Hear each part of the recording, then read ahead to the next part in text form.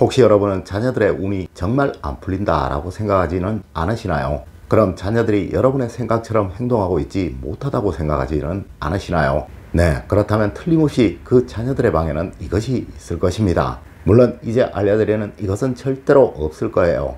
여러분 꼭 명심하세요. 여러분의 삶도 그러하듯 여러분의 자녀들에게도 분명 그들의 삶을 맡고 있는 것들이 있다는 것을 말입니다. 자, 여러분의 자녀분들의 방 오늘 이야기 다 들으시고 꼭 한번 들어가 보시기 바랍니다. 여러분 안녕하세요 이정재입니다. 여러분 과거 전통 풍수학에서는 자녀들의 방을 풍수적으로 가장 중요시 하였습니다. 네, 하여 본 모양의 산이 바라보이는 곳에 그들의 방을 두려고 했었고 또 눈에 보이는 곳에 매화나무나 국화나무를 심어서 끈기와 성실함을 심어주려고 많이 노력들을 하셨었죠. 물론 이외에도 수많은 풍수 처방들을 하였었습니다. 여러분 왜 그러했을까요? 네 맞습니다. 바로 이들이 나의 자랑이며 나를 이어 이 가문을 빛낼 것을 기대하여 그러하셨던 거예요. 하지만 정말 현대는 이 자녀의 방을 함부로 해두는 경향이 있으며 웬만해서는 아예 신경을 쓰지 않는 경향도 있다는 것입니다. 여러분 꼭 명심하세요. 세상에는 절대 원인이 없는 결과는 없는 법이며 여러분도 그러하듯 그들 역시 그들이 늘 보는 그 환경에 의해 변해가는 것이며 지금 그들의 모든 행동들은 바로 그들의 방에서부터 시작이 되었다는 것을 말입니다. 첫 번째로 자녀방의 책상을 꼭 한번 살펴보세요.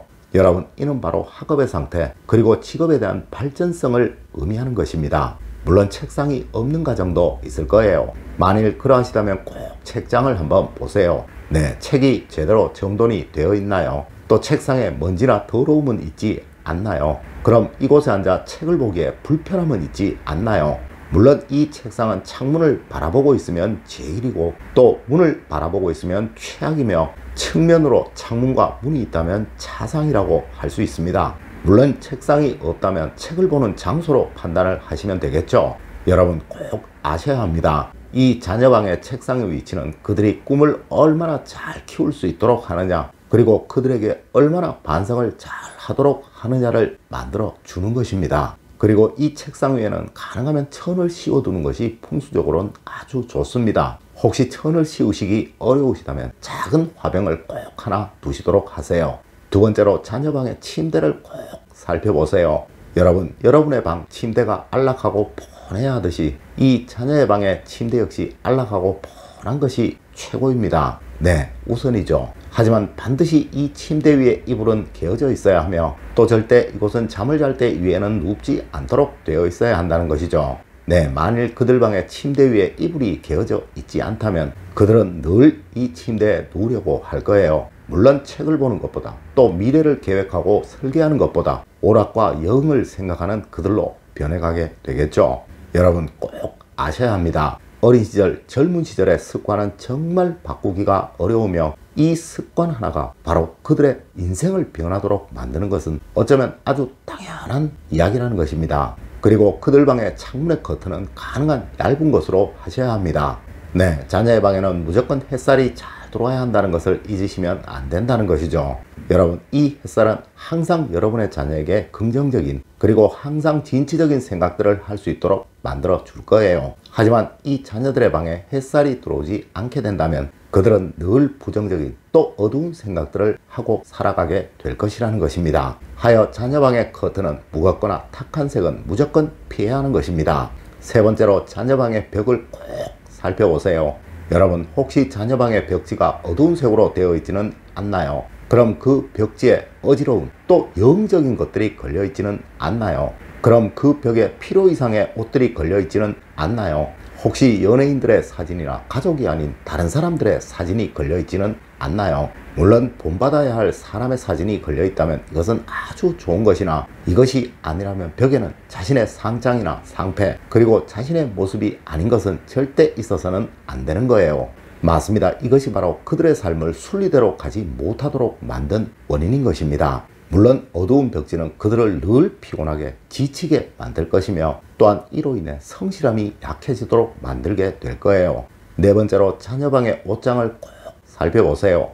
여러분 옷장 속에는 누구의 것이든 입지 않는 옷들이 걸려져 있어서는 안 되는 것이며 절대 세탁이 안 된 채로 또 곰팡이나 조미 스른 채로 들어있어서는 안 되는 것입니다. 네, 옷들이 말이죠. 맞습니다. 항상 옷장문을 열었을 때 정리가 잘 된 상태로 걸려져 있어야 한다는 것입니다. 여러분, 이것은 바로 그들의 무의식의 질서라는 것을 심어주게 될 것이며 또한 안정적인 평안함을 심어주게 될 것입니다. 물론 이것은 성장한 자녀라도 자신의 일에 또 자신의 목적에 최선을 다하는 진취적인 사람이 되도록 만들어 줄 거예요.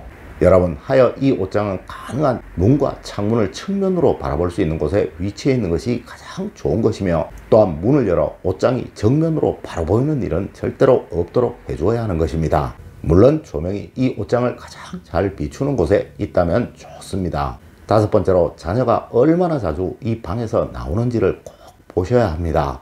여러분 꼭 명심하셔야 합니다. 자기 방에 꼭 틀어박혀 밖으로 잘 나오지 않는 사람이 대인관계에 원만함을 가지는 경우는 절대로 없습니다. 네, 가장 친한 자기 가족과도 대화를 잘 하지 않으려는 사람이 절대 처음 보는 또 잘 모르는 사람과 원만한 대화를 하기가 어렵다는 것이죠. 물론 우리 부모님과는 대화가 안 돼, 또 세대가 맞지 않아 라고 말하는 자녀도 있을 것이며 물론 그러함을 여러분도 인정을 하고 계시겠지만 여러분 절대 세상에는 내 생각과 같은 사람만 있는 것이 아니며 오히려 내 생각을 인정하지 않고 틀렸다고 말하는 사람이 훨씬 더 많다는 것입니다. 네, 그리고 오히려 나를 성취하도록 또 번영하도록 만들어주는 사람은 처음에는 내 생각에 부정적인 경우에 사람들이 훨씬 많다는 것입니다.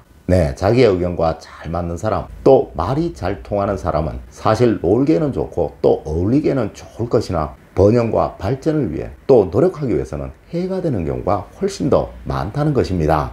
네, 하여 무조건 이 자녀들이 방 밖으로 자주 나오도록 만들어야 하는 것이며 이들이 여러분과 자주 대화를 나눌 수 있도록 해주어야 하는 거예요. 물론 당연히 여러분이 이것을 알려주어야겠죠. 사회를 살아가면서 모르는 사람, 처음 보는 사람, 또 어색한 사람과도 친분 관계를 맺을 수 있어야 번영을 할 수 있는 것이며 이러한 사람들과 대화를 또 만남을 지속해 나가기 위해서는 말이 안 통하는 부모라도 늘 소통하는 연습을 많이 해야 하고 또 가져야 한다는 것을 말입니다. 여러분 꼭 명심하세요. 여러분의 자녀들은 나이는 있어도 늘 어린아이들입니다. 물론 그들이 맞다고 하는 것들도 거의 대부분 인생에는 도움이 안 되는 것들이고 말이죠. 네, 여러분의 지혜를 그들이 지혜롭게 알 수 있도록 만들어주는 것은 바로 여러분의 몫인 것입니다. 여러분, 하여 세상에서 가장 어려운 일이 바로 자식을 기르는 일이라고 우리 조상님들은 말씀을 하셨던 거예요. 여러분, 오늘은 자녀들의 앞날을 위한 자녀방의 풍수법에 관해서 알려드렸습니다.